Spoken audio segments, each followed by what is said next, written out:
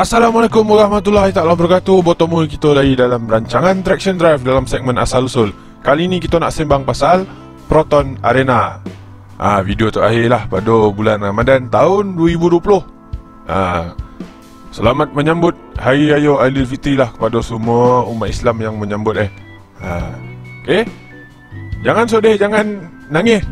Tahun ni memang raya kita lain sikit. Ha, kita tak dapat balik kampung kan. Ha, tak apalah, kita layan dua video yang ada ni ha. Okey? Proton Arena. Ha, atau kek luar, pasaran luar dikenali sebagai Proton Jambak. Ha, bukan jambak bunga ke apa. Ah ha, ni Jambak. J U M B U C K. Dan inilah satu-satu eh keto pickup buatan Malaysia. Ah, memang tak ada lagi pick up sebelum-sebelum ni atau selopeh-selopeh ni. Ha, zaman sekarang pun tak ada lagi Proton dah tak ada buat dah. Mungkin ada future plan ke apa tak tahulah. Nah, tapi setakat ni ada arena ni yo. Ha, tak ada lagi kita lain. Tapi tak termasuklah kita kereta konsep. Ha, memanglah ada Proton-Proton pick up yang dibuat sebagai kereta konsep. Ha, kalau nak cerita konsep, kereta amfibia pun ada baik. Masa dia keluar makin Kat Malaysia memang gagal lah senang situ ha, Memang ada kereta yang tak laku. Yalah tak laku kan? Orang Malaysia apa kau lah pakai Proton baik? Baik dan pakai Hilux Ini Proton 1.5 pula tu. Kalau enjin VR4 okey agak kan? Tapi hari ni Proton Arena ni lah menjadi kereta paling mahal value second hand tu. Mengalahkan Satria GTI ha, tak, tak, tak termasuk lah Satria GTI R3 tu ha, itu liga special. Kalau kita nak cerita mass production arena ni yang paling mahal. Dalam sejarah peraton lah dia punya second hand value. Dan mungkin ini akan berkekalan sampai bertahun-tahun lagi. Kereta ni paling digilai lah Kalau dalam dunia motorsport tu kan. Ha, Sama ada kat Malaysia Ataupun kat Australia ha, Orang memang gomar betul. Pasal apa? Dia ni adik-beradik dengan Evo Mitsubishi tak ada buat Lancer pickup. Jadi Proton je lah yang ada.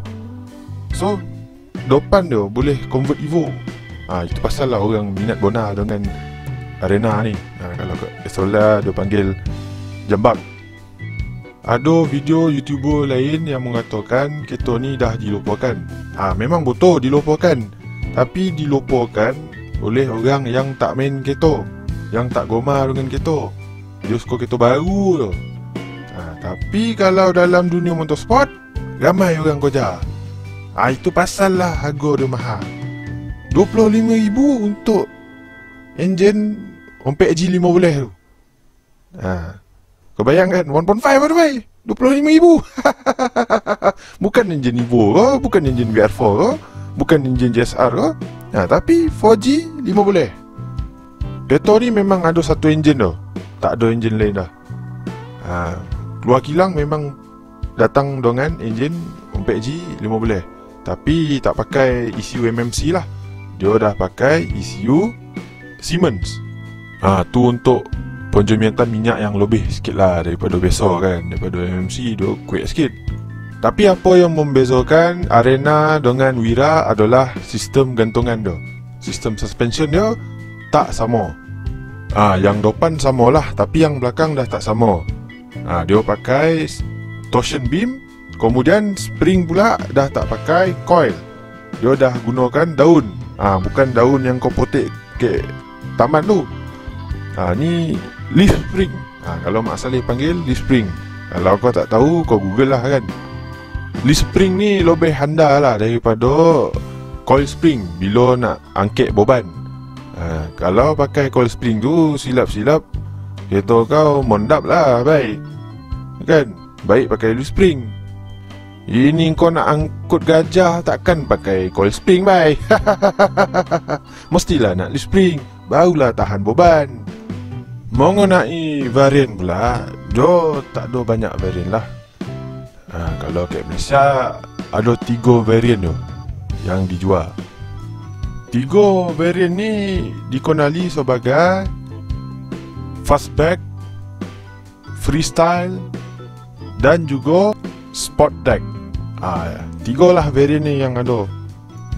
Varian yang paling tinggi, yang paling full spec adalah varian fastback.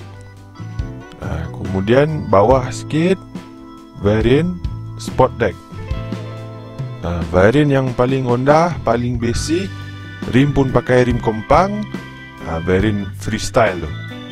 Ah, kalau kau tengok kat video tadi ada arena yang pintu macam pintu Wira 1.3 tu kan?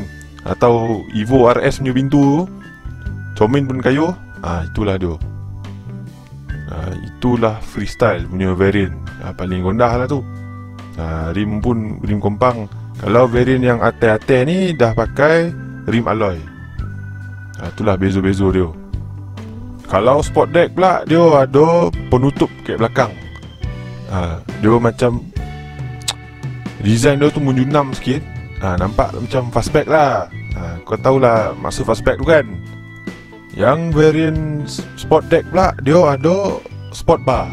Ha, Sport bar kat belakang tu Loket dia punya Cargo bed tu Kat belakang lah Ruang belakang isi barang tu Kan ada bar kat, kat belakang tu.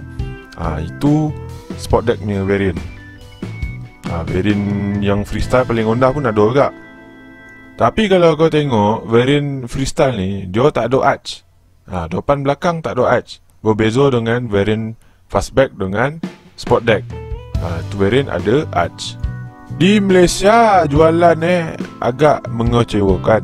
Tapi ke luar, ke UK, ke Australia Kereta ni masih ada permintaan Sehingga pertengahan tahun 2010 ha.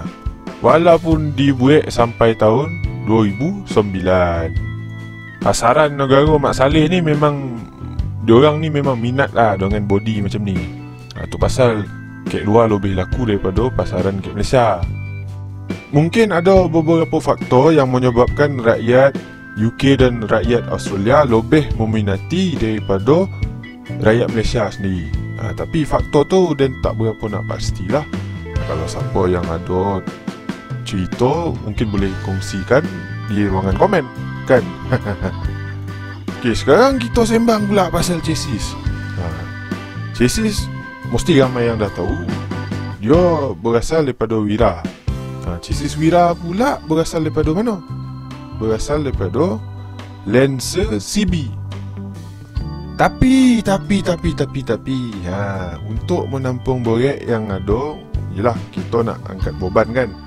Ha, Proton ada buat sedikit modifikasi Dengan menambah leather frame Ke ruangan belakang cargo bed tu lah.